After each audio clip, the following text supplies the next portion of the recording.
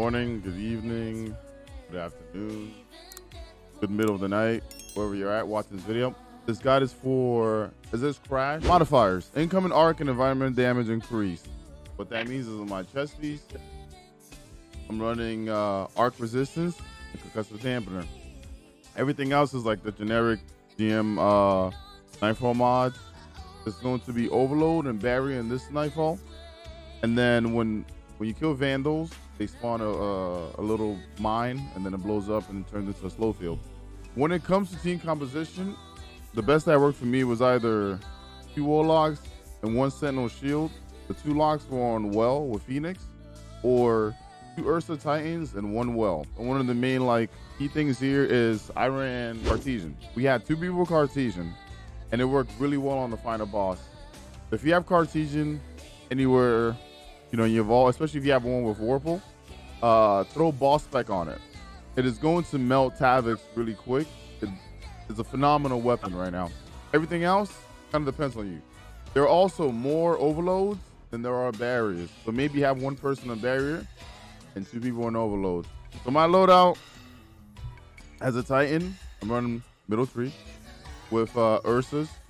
Also try to make sure your intellect is pretty high, maybe between tier 8 tier 10. All right, I have a Whispering Slab on for uh, Overload. I'm running Cartesian myself because there's going to be times where I'll, I'll be able to do damage as well. And I'm running Xenophage. A lot of people ask why am I running Xenophage? I like running Xenophage because at the beginning, there's a bunch of snipers. I can one-shot them. The dregs on the sparrows, I can one-shot them. And one thing that's in the strike, arc damage is increased. So dregs and vandals are very deadly. Those little like sperm shots that they put out normally like three tap you. So with Xeno, I can kind of get rid of them with one shot, especially if they're like grouped up.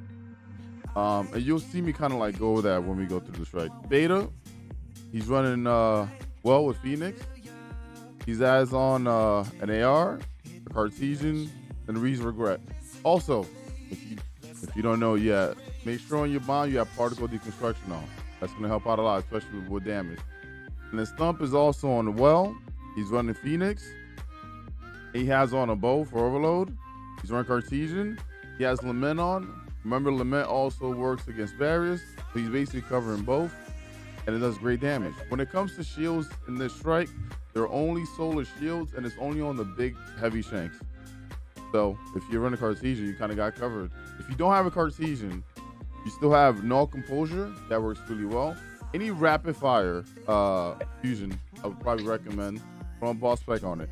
Even if you have the the blue one, the Nox carded, the the arc one, you can't put boss spec on it, but it still does work for rapid fire. Or maybe you have a Zilla from uh, the Garden of Salvation raid. All right, let's let's get in there. A band of fallen touched down on Nessus and they raided the crash site from Exodus Black. She is a powerful ally and our foothold on this planetoid. We have to help. I think I got two of the dregs right away because they normally spawn right in front of us. There might be one more. I'm gonna go after the bomb snipers. Bomb snipers are down.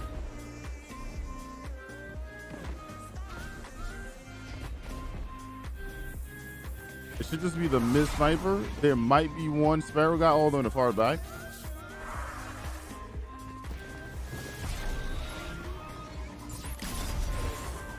I see him. Uh, unless, no, I think you got him. You got him.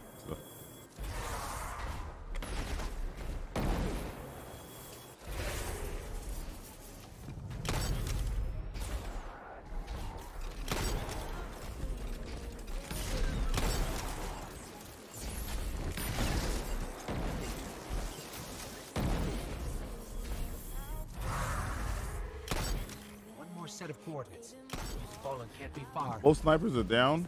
I'm gonna go up so I can bait this damn uh, Pharaoh guy. Unless you got him bait. Okay, you went up to bait him. All right. Where is he? There he is.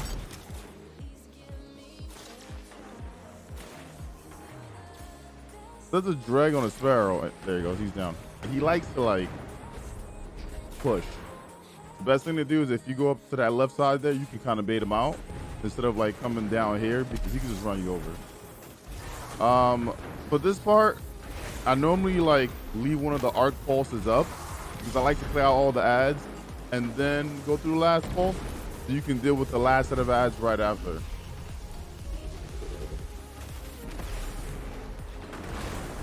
I'm gonna leave this one up on this right side here.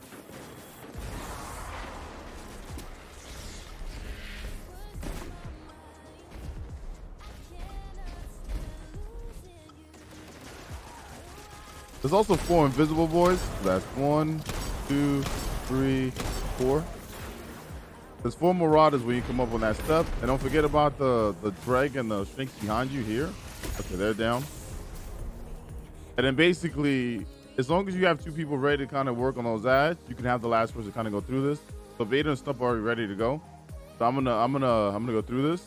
Boom. And then those next set of ads come out. There's a few Shanks, a few Vandals, and uh and a champion captain. And this guy's not too bad. He's the rocket captain. He's not a shotgun captain either.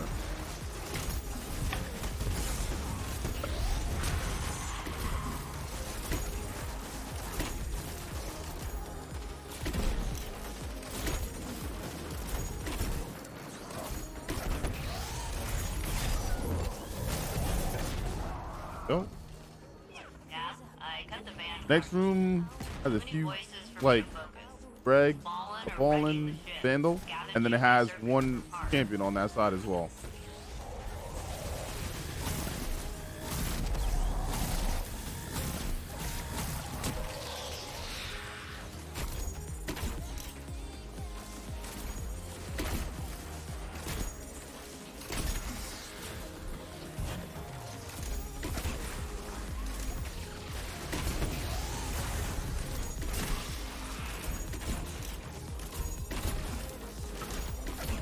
Keeping stuns on. Next room, when you walk in, sometimes like the invisible marauders might push you. What you want to do is you kind of want to establish yourself in a room. This little hallway that we're in, that's like the best place to kind of be. The reason why is because you don't want ads shooting from your left or your right. And like I said, I'm gonna back up now. Um, the champions aren't big of a deal as much as the, the red bars, the dregs and the vandals. They're very uh, deadly. Let me see. We have there's another dreg on that right side. I can't see. Man. Come on. We got.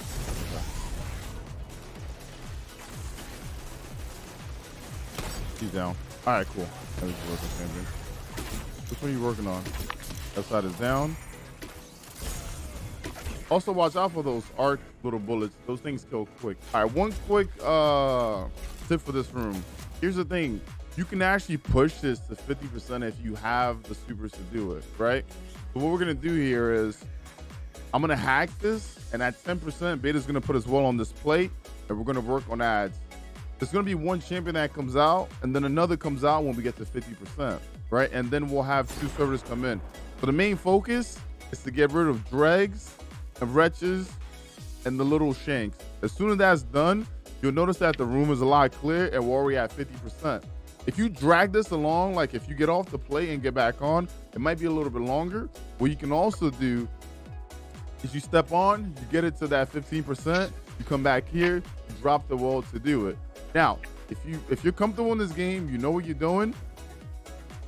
You're gonna start this up 10%, you drop a wall on the plate, get rid of the small ads, and then when you get to 50, you can basically uh, bypass the phase. So you'll see that you only have to get on this plate twice if you do this correctly.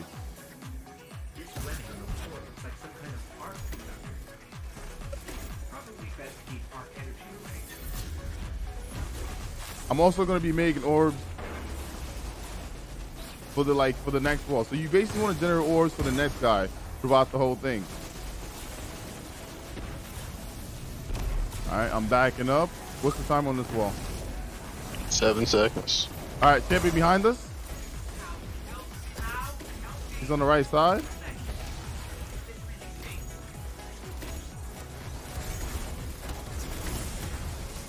Okay, there you go.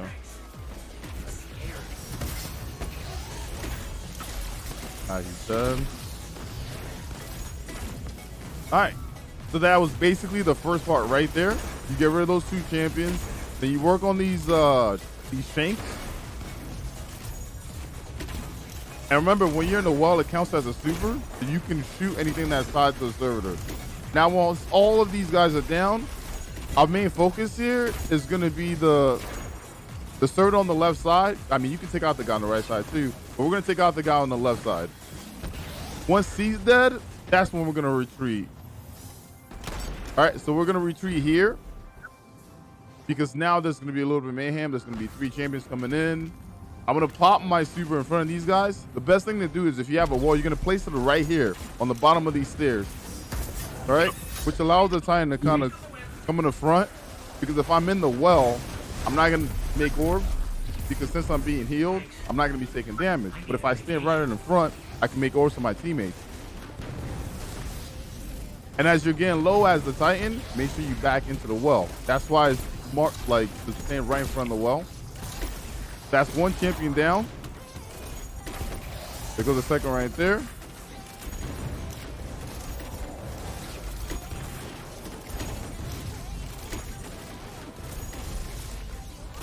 And there goes the third.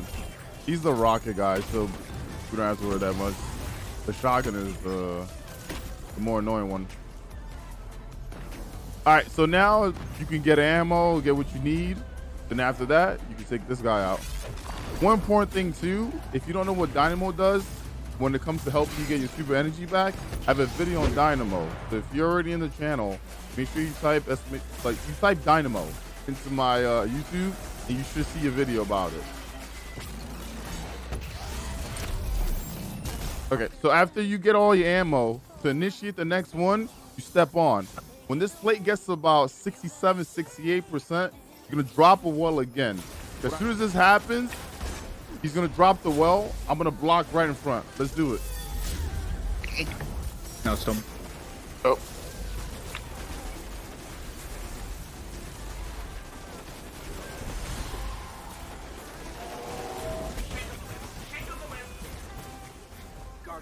He's to the left. He teleported to us.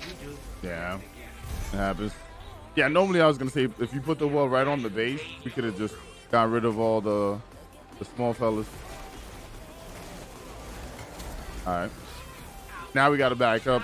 This this will happen as well, right? Like things don't go as planned sometimes in videos. But as you can see, you can always back up, get rid of ads, and then go from there. But normally, you just have to step on a plate twice. Every time you step on a plate, you get off, the game kind of spawns in ads, right? I don't know if it's capped or not, but generally, you would have to go through two phases of these heavy shanks, vandals, and a captain. If you could push it from 50 to 100, feeling like you stand your ground, you only have one wave of ads to deal with. So, you could take your time, or you could go fast. It's completely up to you.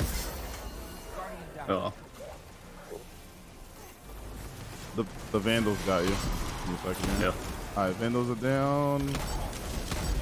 Just stun the overload for now. Oh, Oh, Vandals are dead. So just us and him now. You can see those Vandals hit hard. It's freaking ridiculous. When ads come out, one thing to focus on, Vandals, Dregs. They hit harder than Champions. Alright, next room, what I like to do is just sparrow forward and then go to the right side of the room. The reason why I want to do that is because there's that fallen skiff and it does a crap ton of damage. I always kind of want to just let it uh, leave before anything else. There's going to be a Vandal and three Dregs back here.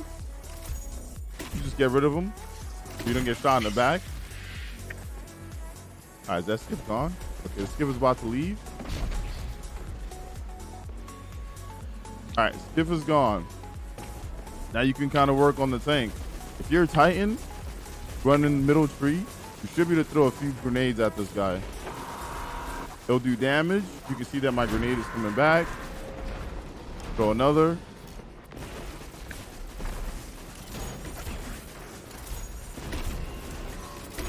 Goes my grenade back again.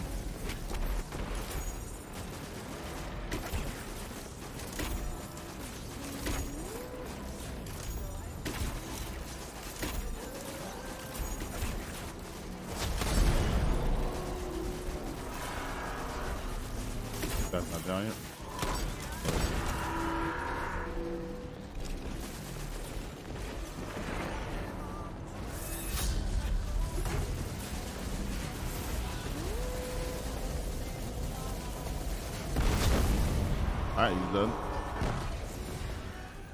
Right, next room. When you get into it, if one of the locks, to definitely move up to the rock on the left and drop a well down there. There it is. It kind of lets you uh, get some cover in the room. There's a few ads to take down. The champion's on the top side. Keep him stunned. Keep him stunned. Dead. That guy just dropped down, I think. Is he dead? Yeah, I killed him.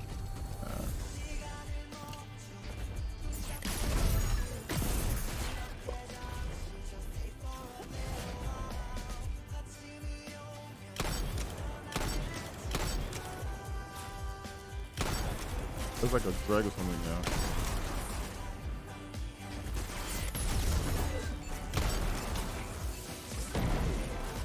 Shot it. I like using Xeno for this part because basically you can one shot most things. The Vandal takes two shots.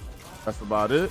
When you first get in this room, whoever used their wall at the bottom is not gonna have their super right away. But you can let that person take out uh, the shanks and then just leave the shank that's on the far left side. That guy, keep that guy alive. Wait for your uh, wait for the third guy to get their super, and then you go from there. When it comes to wells, you don't want to put the wells too far up. You kind of you don't want to go past this line right here. Whatever this thing is, you don't want to go past it. You're gonna drop the wells here. The reason why I say that is because you have this as cover, and you kind of have this as cover as well. Arc is very potent in this strike, and you need all the cover that you can get, even if I'm blocking. Now, our main goal is boss comes in, Thump is gonna drop the well. I'm gonna pop my super block right in front of him. They're gonna have weapons of light. The boss is gonna come in. They're gonna shred him with uh, Cartesian. The boss is gonna go away. There's gonna be ads that come in. Now the best thing is to kind of time it out. You want to leave one ad up so you guys can basically have your supers ready for the next round. There's gonna be a drag that comes around. Leave the drag up. You don't want the vandals because the vandals are a little bit more annoying than drags. But worst come to worst, leave a vandal up. Get your super by killing Shanks in the room, and then go from there. All right, I'm killing this guy. I see Come him. from mid. Yep, you can drop wall slip.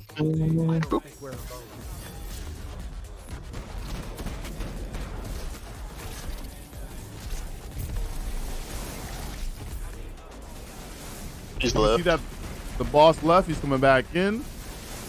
Boom, and he's fully gone.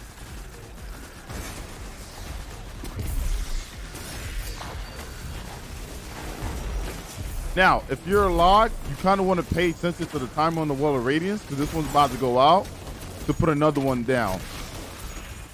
I don't think we need a well, do we? Just Yeah. run. Yeah. No, drop it, beta. Because then it's going to oh, change. Oh, okay.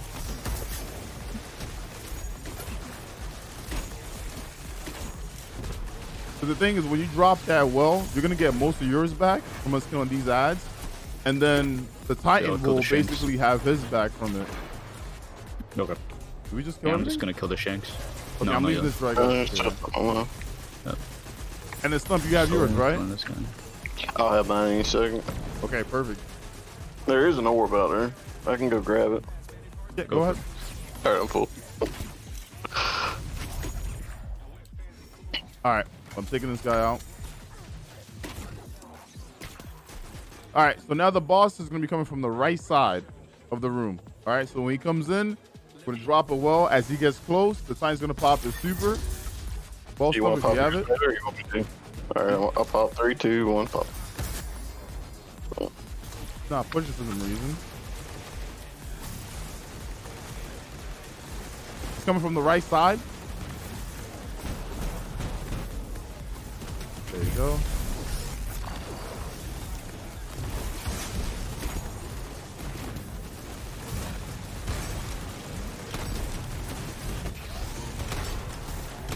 I'm getting rid of all the vandals around us. Positioning.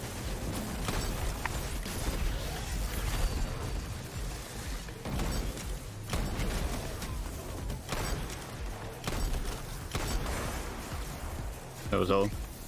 Was that all of them? Yeah, I don't have mine back yet. There's heavy right here though. I need it. Alright, Alright, hurry up. He's coming up from mid. The wall only has two What's gonna seconds. be? There you Yeah. go. I got mine. Hit it. Okay. Hit him over with Cartesian.